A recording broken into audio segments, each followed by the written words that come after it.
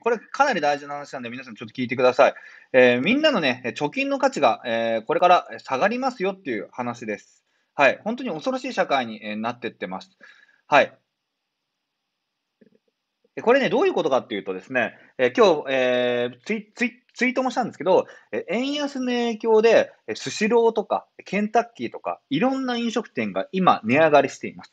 スシローなんて、皆さん100円でマグロ食べれましたよね。スシロー行ったことありますよね。僕も行ったことあるし、結構好きだったんですけど、100円のマグロ、今、えー、これから10月、11月ぐらいから値上げをしてですね、120円、え値上がりするそうです。まあ、事実上100円寿司が崩壊します。で、ケンタッキーなんかはですね、えー、ポテトの原材料、まあ、原材料のポテト、ポテトの原材料、だからじゃがいもですね、ごめんなさい。じゃがいもが手に入らなくなって、しばらく、え、ポテトの、えー、ポテトを廃止するらしいです。はい。これも、えー、まあ、戦争だったりとか、まあ、コロナの影響で、えー、世界全体的に、まあ、トウモロコシ以外も含めて原材料の確保っていうのが、かなり、えー、困難になっています。はい。で、え、今ね、え、日本で、まあ、ニュースにもなってますけど、今、円安なんですよ。で、円安円高ってなんじゃらほいっていう人もいると思うんで、え、ちょっと説明すると、まず、円、円高、円安の反対の円高は、円の価値が高くなります。え、つまり、1ドル買うのに必要なお金は減るんですよね。はい。1ドル買うのに必要なお金は減ります。で、今日本で起きてる円安は、円の価値が安くなるんですよ。だからみんなのお金の価値が今安くなってるんですよ。みんな1万円持ってるから、持ってて1万円普通に使えるから、あんまり気にならないかもしれないですけど、相対的にみんなのお金の価値は落ちてます。つまりこれはどういうことかというと、1ドル買うのに必要なお金が増えるわけですよ。はい。で、昔はね、えっ、ー、と、まあ、70、75円とかそういう時代もあったんですけど、今130円です。つまり、じゃあ1ドル欲しいですと。アメリカのドル、1ドル欲しいですよ。じゃあ買いたいですって言ったときに、えー、昔は75円出せば1ドルゲットできたんですよ。でも今って130円出さないと1ドルがゲットできません。はい。え、で、え、今ね、円、えっ、ー、と、で、円安になると何がいいことがあるか。まあ、いいこともあるんです。悪いことじゃなくていいこともあるんですけど、海外で日本の製品がめちゃくちゃ売れます。めちゃくちゃ売れるんです。え、外人の人からすると、え、日本の商品って安く買えるんですよね。円安になると。でつまり、えっ、ー、と、海外からの、え輸入品、ごめんなさい。で、ごめんなさい。デメリットもあって、デメリットもあるんですけど、デメリットは、海外からの輸入品が高くなって、輸入のコストが、え大きくなります。はい。逆に一方で、円高も円高でまあまあ、えー、メリットがあってですね、えっ、ー、と、まあ、いろんな側面があるんですけど、今は、え、円安になってます。はい。で、円安自体はいいことなのか悪いことなのかっていうと、一概に悪い、悪いっていうふうにまあ断言できなくて、まあ、いいっていう声もあるんですよ。えただね、今、え残念ながら、今、僕たちが直面している円安は、えー、残念ながら悪い円安です。はい。悪い円安になってます。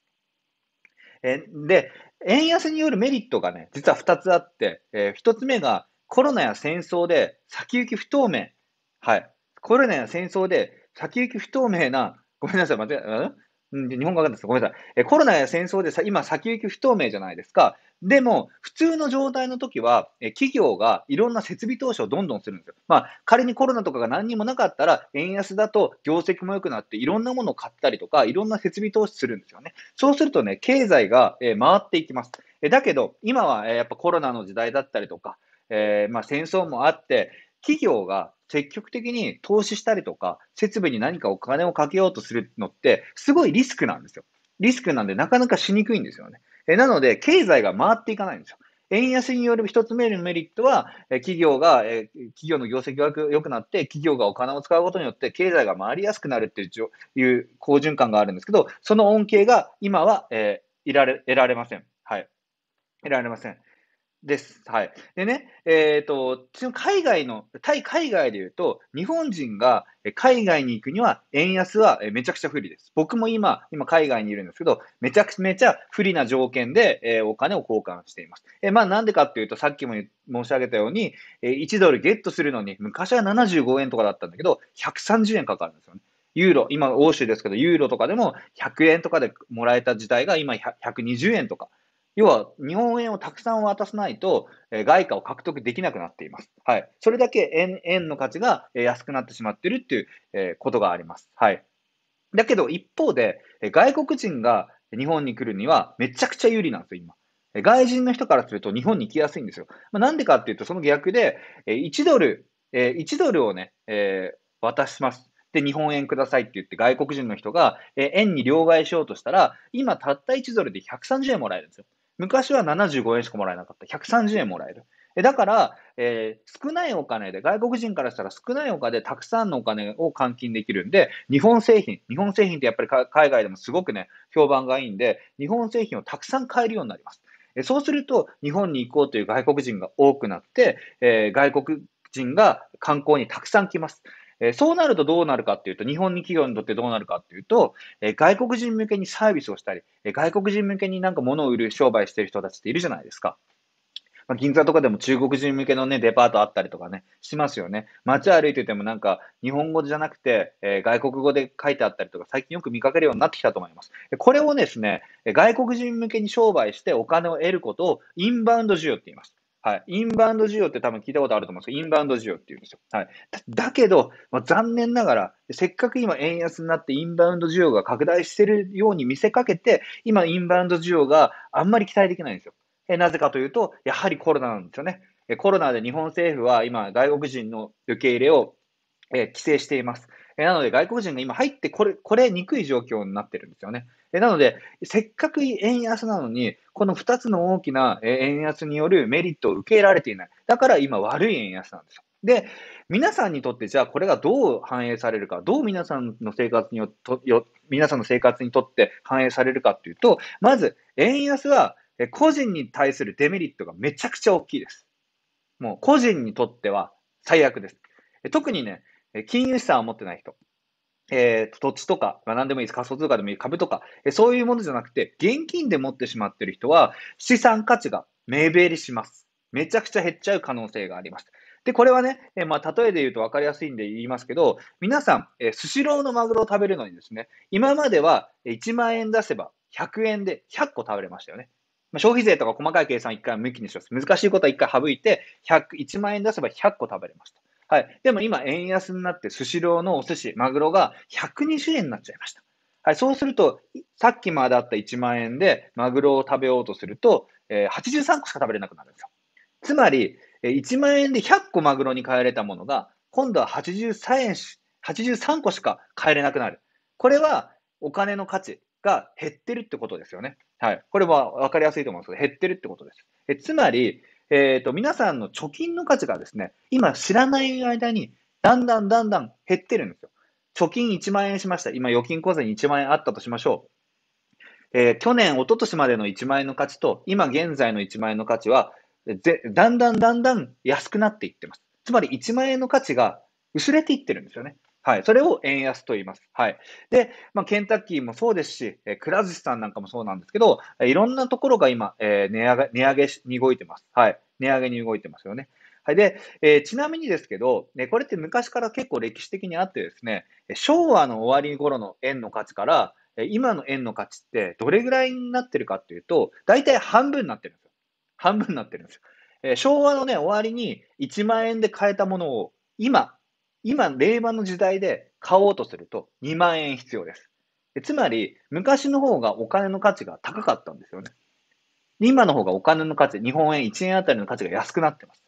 当然ね、え、ー、と、物価も2倍近くに上がってます。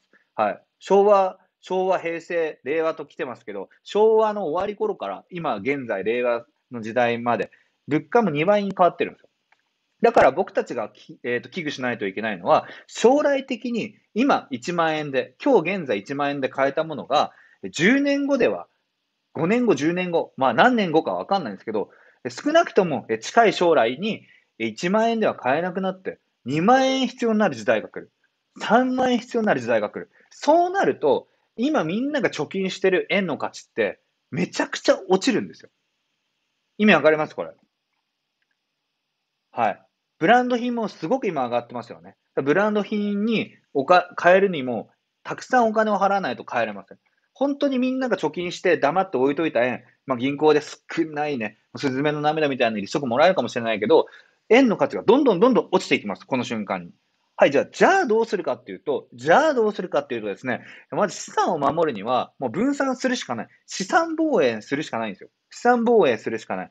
で、えー、例えばじゃあ現金でね、大体日本の多くの人がリテラシーが低くて、外国だったら、えっ、ー、と、現金でお金を持ってる人ってそんなにね、あの、割合は少ないんですよ。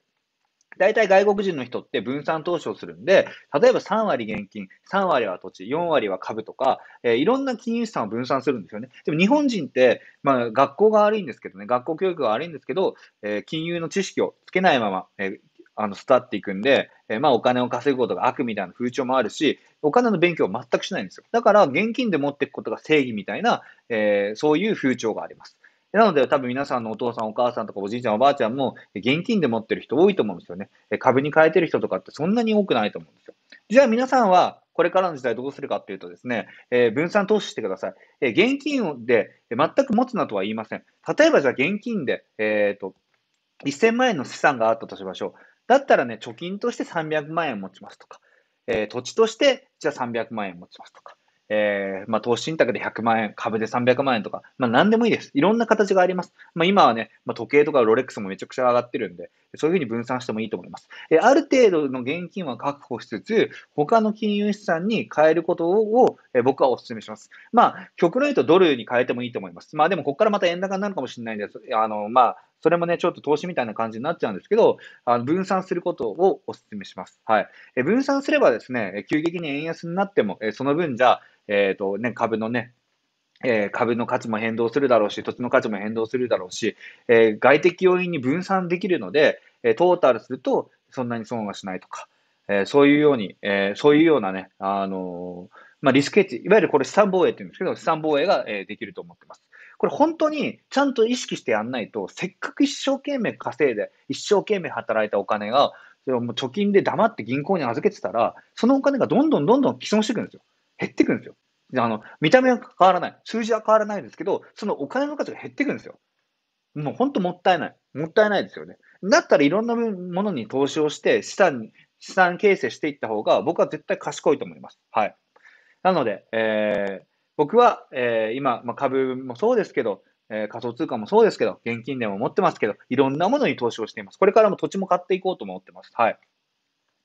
ということです。はい。なんで皆さんね、せっかくこれ配信見てくれてるってことは、まあ、一生懸命勉強したりとか、リテラシー高い人も多いと思うんで、えー、自分、明日はね、我が身ですよ。本当にどうなるかわかんないですよ。日本経済どうなるかわかんないんで、えちゃんと、えー、自分の、少なくとも自分、そして自分の家族を守れるぐらいの資産形成をして考えてやってた方がいいと思います。はい。